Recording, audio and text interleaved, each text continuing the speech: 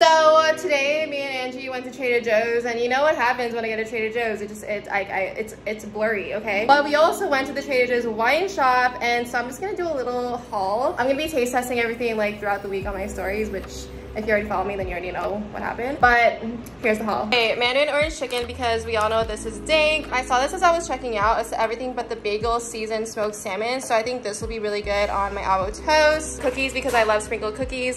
This shit is dank. It's a good like lazy food to cook. Corn because I can't fucking find corn anywhere. Like extinct here. Um, some peanut butter and I also got, where is it? Some raspberry jelly. These are Angie's. There's some tortilla chips to have with her Miss Salsa. Peanut butter sandwich crackers because I like to munch. Cheese crackers because I eat it with my bitchin' sauce. Snickerdoodles because apparently they're really good. This chocolate almond granola cereal. I love eating this with my coconut yogurt or just with oat milk. RX bars for when I'm feeling lazy and like a pre-gym snack. Butternut squash ravioli. That's Angie's. We're gonna try this pesto chicken this week, so we'll let you guys know how that goes. Some white truffle potato chips because we're sluts for truffle. Chia seeds because I like putting it on like literally everything. These are some of my favorite gummies and some dried mango. And I got some other protein bars and whatever. RX bars are just so fucking good and Power Crunch bars too. And this is all our wine. So I haven't tried this and this, but Josh is delicious. It's the only four letter slash J name thing I'll ever put in my mouth. And some three bottles of Cocobon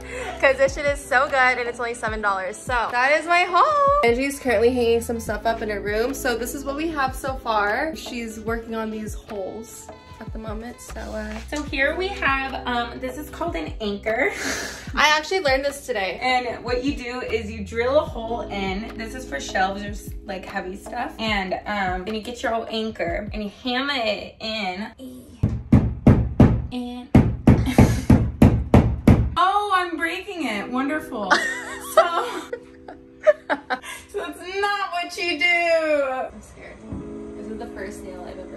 Wait, you've never hammered a nail I in? don't think so. what? oh my god! Beautiful. Look at that nail. Oh. it's not going in. Oh! It went in. oh my god. Is it not getting in? Wait, what are you doing? Got it out a little bit. Okay, perfect. Put in her poster up. Wait, are we- oh wait, wait. it's a little cricket, but that's okay. You just gotta scoot it over. Oh! Oh! Oh! Yeah! I'm gonna be honest, I have no idea where I left off in this vlog, but this is obviously gonna be the last um, moving vlog since, you know, I've been here for a little over a month, but I feel settled down. The apartment is basically furnished and my room is furnished, so I'm gonna be showing you guys how it all looks like. So let's go. We still need to build a little entryway thing, but we have a little runner. This is me and Angie's uh, situation. So we have eucalyptus, we just haven't hung it up. And we've actually had that for a little over a week, so yeah. But cute little mat thing and our stuff. And nothing great, just, you know, the basics of a restroom. And our kitchen, we have all my shit on the table and you know like i said nothing crazy but we did furnish the living room we have a new roommate comey and our rug and a sofa we're waiting on our tv to come in as well it's furnished but just not fully furnished but we're, we're on we're on the way there so on to me and angelina's corner of the apartment we have our little board and it's so cute because angie does these things every single day and we just have to list them out, you know, some posy vibes. And this is how she furnished her room, which I'm actually really obsessed with. I really want this rug, high key. It's a mess.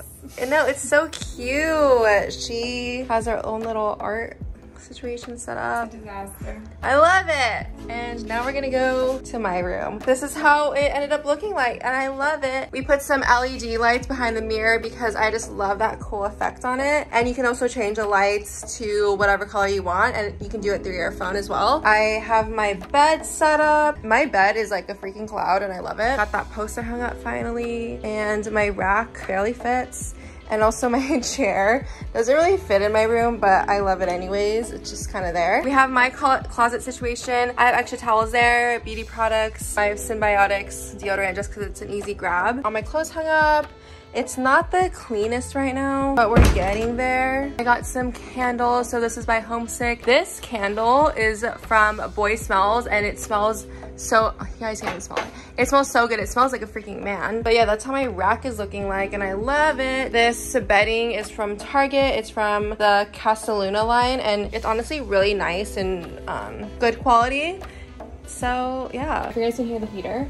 But I have to put you guys on my bedding detergent. So I wash my bedding once a week and this is the Laundress um, and Le Labo collab and this is in Santal. So your bed can smell like Santal or they also have Rose 31. Both of these scents are so freaking good and it makes, it just makes my room smell so good. And it's like a little lush thing that you can do. I i like to see it as a form of self-care. You guys can definitely check out those detergents. So i'll do a little update on life in new york. So i'm actually in a pretty good routine of going back to the gym so that i can get back to being stronger and getting the body that I actually want. Working and just enjoying the city, hanging out with my close friends, safely obviously, and just sit in my circle. So it's been so much fun and I am already dreading leaving, which is something that I need to stop doing because I need to focus on being in the present, which is my downfall. But I feel like I'm starting to actually have a life here and I'm in love with it. I don't even want to go home. The only reason why I would be going home is because I have a car, which I bought last January and I'm still making payments on it so it's kind of like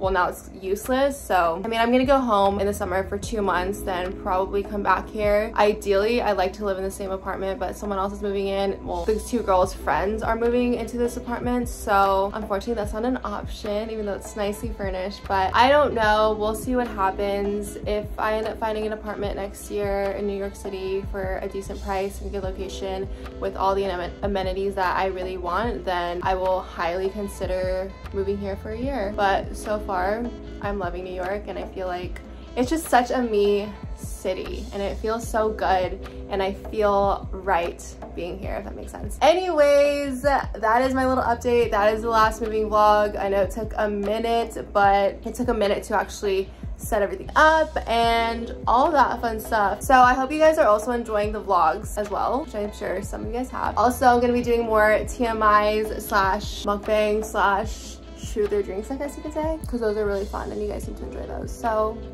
yeah, um, I guess that is it for this moving vlog. I'm pretty sure this was kind of short, sorry. But I will see you guys in my next video. Bye.